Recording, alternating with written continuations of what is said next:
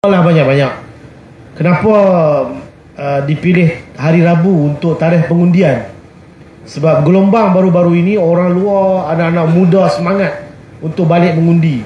Yang baru dapat kerja tiga hari di kilang. Minta nak balik mengundi juga. Baru masuk universiti pun balik mengundi juga baru-baru ni. Semangat. Sehari sebelum tu pun diberi cuti.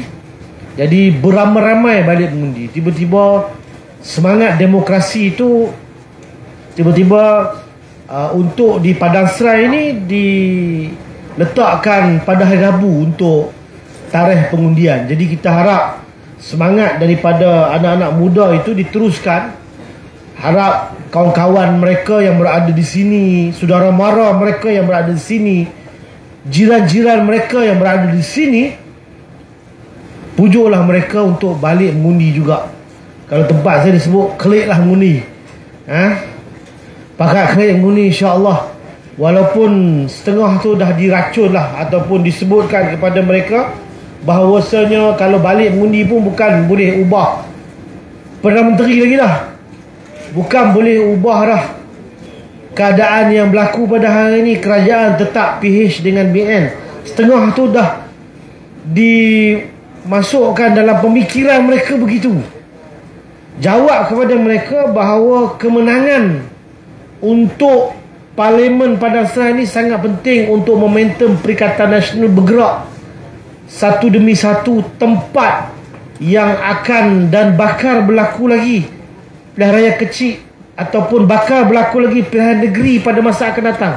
Artinya gelombang penolakan rakyat kepada Pakatan Harapan dan juga Barisan Nasional perlu disambut oleh Padang Serai walaupun ada yang mengatakan tak dapat nak mengubah pun keadaan yang berlaku pada hari ini tetapi dapat meneruskan momentum dapat menyambut kebangkitan rakyat terutamanya anak-anak muda di kawasan-kawasan yang lain termasuk di pematang pauh bau-bau ini disambut oleh Padang Serai insya-Allah.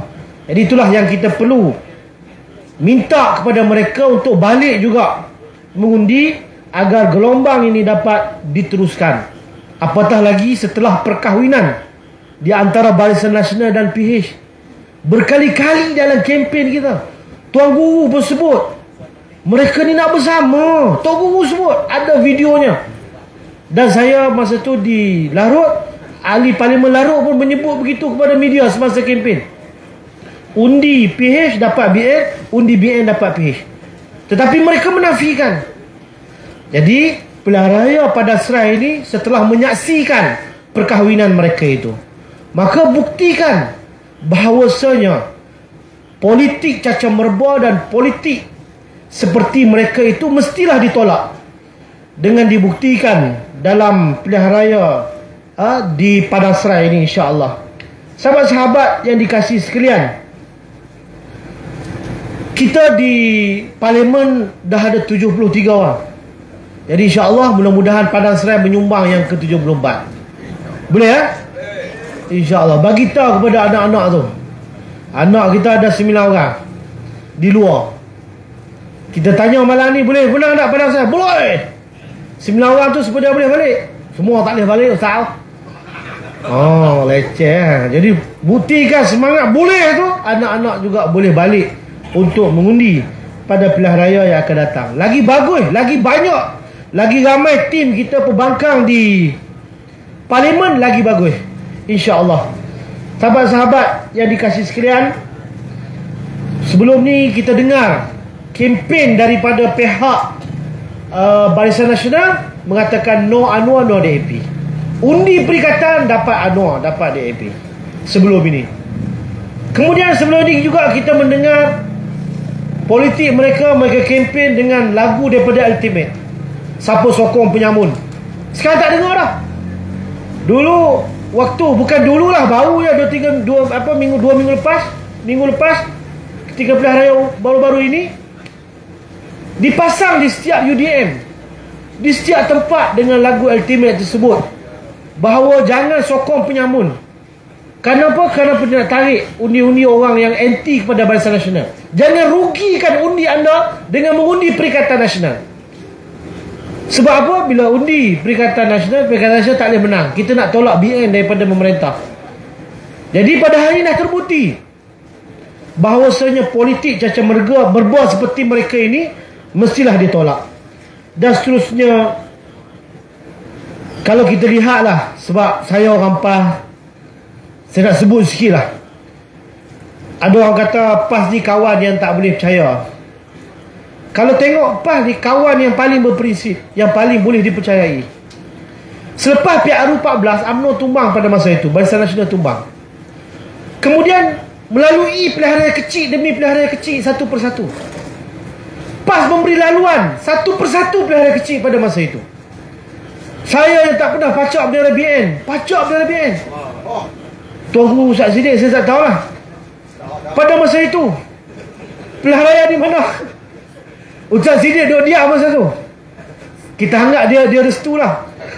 Sebab keputusan pimpinan pada masa itu memberi laluan kepada Barisan Nasional. Atas kawan yang walaupun belum didaftarkan lagi. Kawan disebut sebagai muafakat nasional pada masa itu. Pilihan raya mana? Kemarin Highland. Tanjung Piai Slim Masa Slim tu Saya dah bisik kepada pimpinan PAS Perak Jom kita minta pula Mereka kita dah tolong mereka 8 kali dah. Masa ni lah kita nak tengok Keikhlasan mereka dalam berkawan. Dia nak bagi ke tak? Tak bagi tuan-tuan. Tak apalah kita tolong mereka juga Di Dun Slim. Hari ni Dun Slim dah Dimenangi oleh calon PAS baru-baru ni Alhamdulillah. Kita tolong mereka Dalam siri pelarian kecil.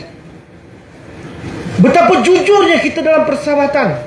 Tiba-tiba mereka kata tak mau bersama dengan PN, takut nanti kita tikam belakang mereka. Itu tidak benar tuan-tuan. Sebab itulah apabila mereka minta supaya pilih sama ada Perikatan Nasional iaitu bersama dengan Bersatu ataupun MN bersama dengan UMNO. Sepatutnya semua kena mari bawah Perikatan Nasional. Ada satu nilai persahabatan yang terbaik di situ. Tetapi bila disuruh pilih Kita nak hadapi pilihan raya dah Maka pimpinan kita membuat pilihan. Tak boleh nak tolak bersatu. Kerana apa? Kerana mereka dah berkorban. Yang kita boleh jadi kerajaan 2 tahun. Yang UMNO boleh jadi kerajaan selama beberapa tahun itu Kembali menjadi kerajaan Kerana pengorbanan daripada bersatu Yang meninggalkan Pakatan Harapan. Kita tak boleh nak khianat Kawan yang seperti itu. Sebab tu tuduhan PAS ini main dua kolam, tiga kolam, suka khianat kawan, suka tikam belakang. Kalau tengok dari segi sejarahnya tak betul. PAS adalah kawan yang paling berprinsip. Tengoklah daripada awal lagi. Pernah berkawan dalam Barisan Nasional tahun 70-an. Pernah dengan 46 dalam Angkatan Perpaduan Ummah. Pernah dengan Barisan Alternatif. Dan lain-lain. Kalau kita lihat dari segi sejarah itu, maka kita akan jumpa secara adil kita dapat menilai bahawa PAS adalah kawan yang paling berprinsip dan setia kawan itu sendiri dan hari ini kita bersama-sama dengan bersatu dan gerakkan dalam satu keluarga besar yang disebut sebagai Perikatan Nasional itu sendiri sahabat-sahabat yang dikasih sekalian saya tengok penceramah ramai malam ni jadi saya rasa tak perlu dah nak cakap banyak Tambah yang di depan saya ni Tok Guru. Tok Guru Ustaz Fawah, Tok Guru Ustaz no. Sudah tentulah mereka dan mungkin saya rasa segan pun dah dengan Tok Guru kita ni. Dan insya-Allah kita dapat menimba ilmu dengan mereka dan uh, kalau sikit sebanyak saya boleh sebutlah eh, tentang Perak mungkin tuan nak dengar sikit. Saya telah mengikuti beberapa rundingan setelah berlaku perkara ataupun pertukaran menteri besar sebelum ini daripada Peja eh, daripada Peja kepada Peja daripada Peja kepada Tok Syarani dan yang terbaru nak melantik siapa? Tuduhan kepada kita ah, tentang kita berebut tentang yang amat berebut nak jadi menteri besar. Nak berebut apa? Kalau nak berebut pun bagilah seminggu baru dah juga berebut. Ini baru sehari. Kalau betul berlaku perebutan tak sempat. Tapi sebenarnya tidak ada Tak berlaku pun Nak berebut menteri besar Pada masa itu Tetapi tiba-tiba Dah diisiharkan pelantikan menteri besar di Perak Tak sempat pun Walaupun Rakan kawan atau pimpinan kita Datuk Seri Peja dah buat lamaran pergi bincang dengan menteri besar pada masa itu ataupun pergi bincang dengan Pengurusi Perhubungan UMNO Negeri berbincang. Mungkin pada masa itu belum berjaya lagi perbincangan. Mungkin akan ada rundingan seperti mana yang berlaku di Pahang tak sempat lagi rundingan dan seterusnya. Tiba-tiba dah dibentuk kerajaan bersama dengan Pakatan Harapan. Tak apalah kita ucap tahniah di atas pembentukan tersebut. Cuma janganlah saling menyalahkan kita untuk mengiyakan dalam dia menjadi menteri besar di negeri Perak.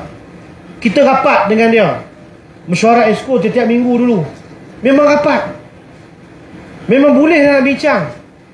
Ini menunjukkan apa menunjukkan bahawasanya benar apa yang Tok Guru sebut mereka dah rancang awal kita yang lalai. Mereka dah rancang awal lah. Seperti mana perbualan telefon Presiden UMNO cikgu dengan anak murid. Perbualan telefon tu pun kita dah agak dah bahawa mereka akan membentuk jajaran baru. Jadi berlakulah seperti mana yang berlaku pada hari ini. Di federalnya mungkin kita dengar Presiden UMNO bakal menjadi timbalan Perdana Menteri kita dengar begitulah mungkin. Dan susnya apa yang berlaku di Pahang rundingan demi rundingan. Akhirnya kita lihat berlakulah seperti mana apa berlaku di negeri Pahang. Cuma harapnya kita harap bahawa Padang Serai dapat buat yang terbaik memberi undi kepada Perikatan Nasional. Tak payah fikir panjang lah ajak kawan-kawan balik ajak anak-anak balik. Ajak saudara mara balik mengundi. Walaupun barangkali tidak boleh mengubah apa-apa tetapi ianya penerusan kepada gelombang baru-baru ini untuk terus kita menawan negeri-negeri yang lain supaya dapat Perikatan Nasional memerintah. Selepas ini akan ada perayaan negeri di enam negeri insyaAllah pada tahun hadapan. Jadi kita doakan mudah-mudahan Padang Serai calonnya seorang lagi akan dihantar ke Parlimen Iaitulah yang ke-74 daripada Perikatan Nasional. Cukuplah sekadar itu. Minta maaf banyak Tok Guru, minta maaf banyak yang berhormat Ustaz Fawaz. Ha, salah silap, minta maaf, astagfirullahalazim. Aku lu qauli hadza. Astagfirullahalazim li wa lakum. Wabillahi taufiq wa hidayah. Assalamualaikum warahmatullahi wabarakatuh. Takbir. Takbir. Takbir. Perikatan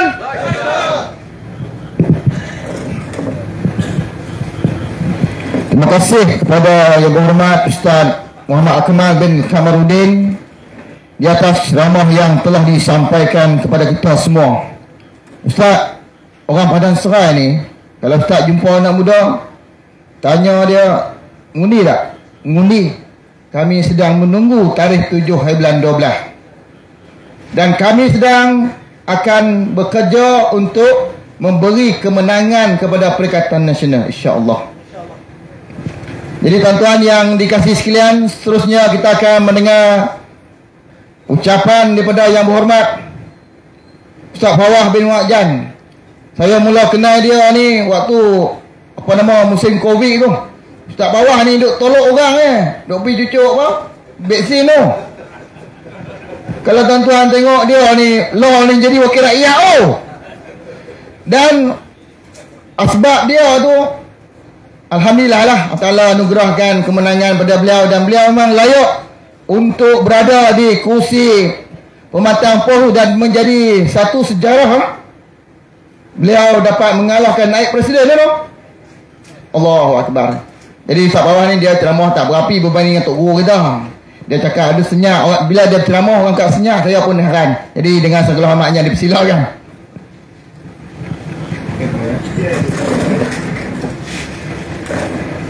أعوذ بالله من الشيطان الرجيم بسم الله الرحمن الرحيم السلام عليكم ورحمة الله وبركاته الحمد لله والصلاة والسلام على رسول الله وعلى آله وصحبه ومن والاه Terima kasih ucapkan pada saudara Naka ha, Aku juru majlis kita pada malam ni Yang dihormati Fatih Tuan Guru Ustaz Sidik Nor Yang bersama dengan kita pada malam ni Yang berhormat uh, Ustaz Kemal bin Kamarudin uh, Adun Selama yang datang daripada Perak bersama dengan kita pada malam ni khususnya sahabat-sahabat UDM yang hadir pada malam ni dan seterusnya penyokong pendokong uh, seluruh uh, hadirin hadirat yang dirahmati dan dikasihi oleh Allah Taala sekalian. Alhamdulillah kita rafakkan kesyukuran kepada Allah Subhanahu Wa Taala malam ni Allah Taala bagi kita kesempatan dengan cuaca yang baik untuk sama-sama kita mendengar sedikit penerangan, sedikit penjelasan berkaitan dengan suasana yang sedang berlaku dalam negara kita. Walaupun PRU telah pun berlalu, tetapi pilihan raya di Padang Serai belum lagi berlangsung dan ia akan berlaku pada 7 hari bulan 12 nanti. Jadi ada lebih kurang seminggu lebih lagi. Jadi mudah-mudahan Allah Ta'ala memberikan kemenangan kepada Perikatan Nasional di Padang Serai ini insyaAllah. Sahabat-sahabat yang dirahmati Allah Ta'ala sekalian, kalau kita tengok uh, pilihan raya Padang Serai ini sebenarnya pilihan raya ini sebenarnya tidak mengubah uh, kedudukan Perdana Menteri Malaysia yang ke-10 yang mana saya rasa semua sedia maklum Perdana Menteri yang ke-10 telah pun ditabalkan. Pilihan raya Padang Serai ini juga tidak akan menjadikan kerajaan akan bertukar. Tidak. Kerajaan masih kekal kerajaan Pakatan Harapan dan Barisan Nasional dan kita Perikatan Nasional menjadi kerajaan pembang, minta maaf menjadi pembangkang kepada kerajaan ini. Sebab tu kita kena faham ya kerajaan yang tertubuh ni bukan kerajaan perpaduan tau. sebab kalau kerajaan perpaduan kerajaan perpaduan ni dia tak ada pembangkang. Semua jadi kerajaan. Sebab nama kerajaan perpaduan.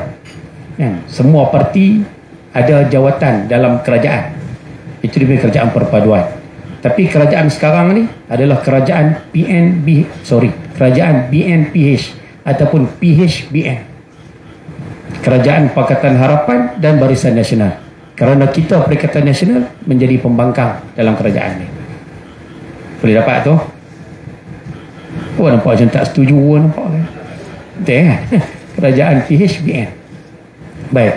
Jadi PRN ataupun pilihan raya di Padang Serai ini sebenarnya tidak mengubah apa-apa keputusan. Tetapi untuk makluman semua yang hadir pilihan raya Padang Serai ini sebenarnya menjadi satu ataupun kita boleh sebut menjadi tumpuan seluruh rakyat Malaysia khususnya di politik seluruh ahli politik dalam negara kita hari ini menjadikan Padang Serai ini sebagai tempat tumpuan sebab apa? sebab Padang Serai inilah akan menjadi tempat untuk seluruh ahli politik melihat ke mana sebenarnya aspirasi rakyat ke mana sebenarnya hasrat rakyat rakyat nak yang mana sebenarnya? Boleh ditentukan dalam pilihan raya Padang Serai. Khusus yang paling simple sekali kita boleh tengok kita akan tengok anak-anak muda. insyaAllah anak-anak muda masih lagi bersama dengan Perikatan Nasional. Dan saya merasakan dalam pilihan raya kali ini anak-anak muda akan konsisten memberikan undi kepada Perikatan Nasional. Itu satu.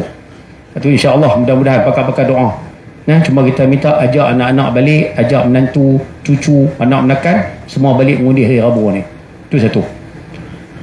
Tetapi yang lebih menarik ni, kita nak melihat berkaitan dengan satu lagi parti yang kita tengok hari tu bahasa mudah kita sebut macam ni lah. Sebelum ni cakap, tadi Fadil Ustaz Akmal sebut cikgu dengan anak murid, cikgu dengan anak murid. Kita nak tengok tentang parti Barisan Nasional mana Parti Barisan Nasional sebelum PRU ke-15 kita tengok mereka dengan Pakatan Harapan ni saling bertentangan.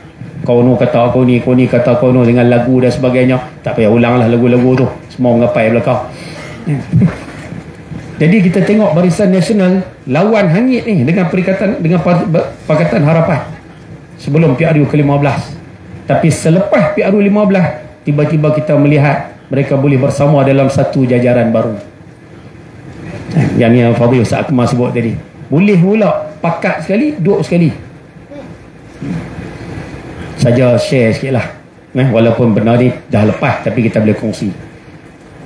Selepas habis PRU ke-15 ni selepas habis PRU ke-15 19 bulan hari tu kami uh, yang mana ahli-ahli parlimen ni semua dipanggil untuk berada di Kuala Lumpur.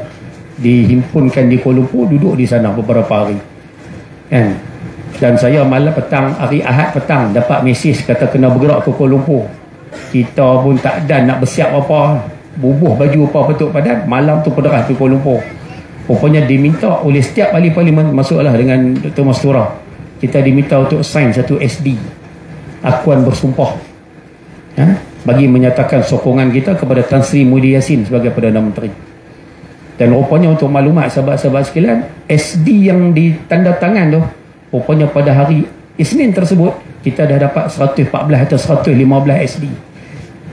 Maknanya dengan SD tersebut, dah membuktikan Tan Sri Muhyiddin Yassin dapat sokongan majoriti untuk jadi Perdana Menteri. Kalau bahasa mudah dia macam ni lah. Bahasa mudah dia. Kalau tak ada apa-apa masalah, hari Senin petang tu dah boleh angkat sumpah lah. Itu bahasa mudah dia lah sebab SD itu sebagai bukti kata sokongan ahli parlimen kepada Tan Sri Mudi Yassin sebagai Perdana Menteri.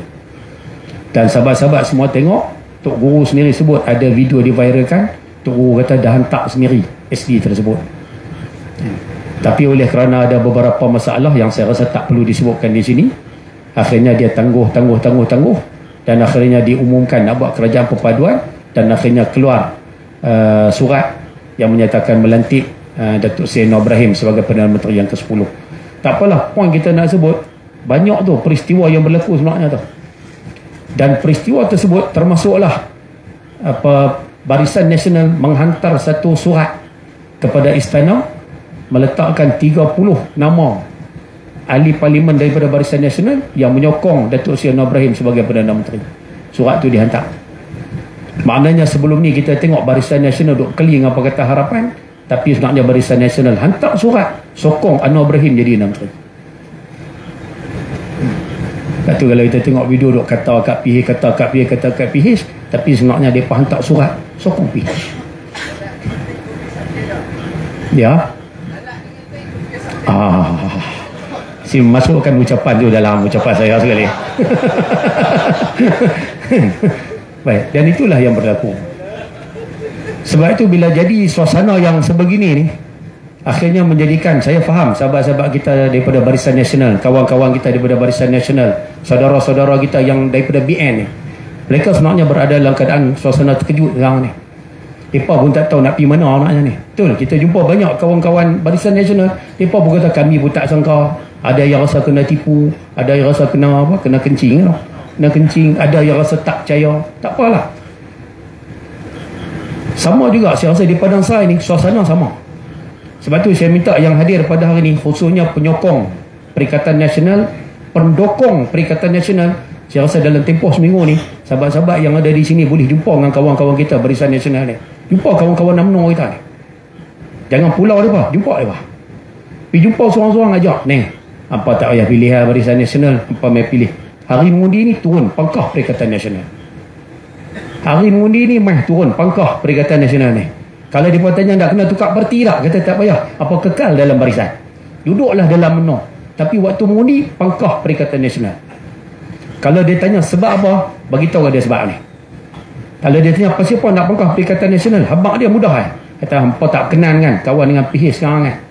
Apa tak setuju kan kawan dengan PH kan? Majoriti memang kata tak setuju kan? Bagi tahu dia apa? Kalau hampa undi Perikatan Nasional otomatik undi Barisan Nasional akan jatuh. Biasa undi BN akan jatuh. Undi poket dia akan jatuh.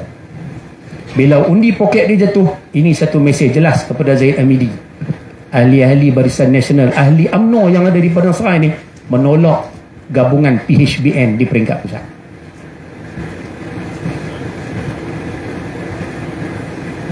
Apa nampak macam tak setuju nampak. Betul kan itu satu.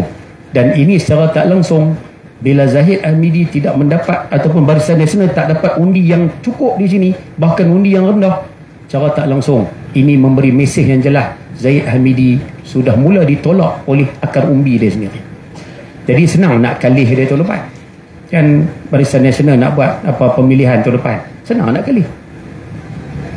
Kalau Barisan Nasional bagi undi juga pada Barisan Nasional, sokong juga Barisan Nasional, dan mungkin undi barisan nasional itu kekal ataupun lebih sikit secara tak langsung dia akan bagi mesej Zahid Hamidi sebenarnya mendapat sokongan. Dan 6 bulan lagi Zahid Hamidi pasti akan kekal sebagai Presiden UMNO habang tu kau orang UMNO ya, habang dia jangan lari habang dia termasuk juga kawan-kawan kita sahabat kita daripada PH ada agak kan? Dulu tengok mereka duk hoi ya hoi hoi ya hoi hoi ya hoi tu lah. Kan? Tapi bila jadi macam ni, mereka pun jam lah ni. Jumpa kita pun kira nak marah. Jumpa kira nak marah. Sebab apa? mereka seronok. Anwar Ibrahim jadi menteri tapi mereka sangat tak seronok sebab kawan dengan barisan nasional. Tanya bila siapa pun. Kan? Kebanyakan orang pilih macam tu lah. Mereka seronok Anwar Ibrahim jadi menteri sebab dah lama berjuang nak jadi menteri tu.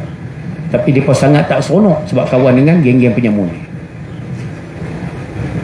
jadi mereka juga berada dalam keadaan sedih. Abjak mereka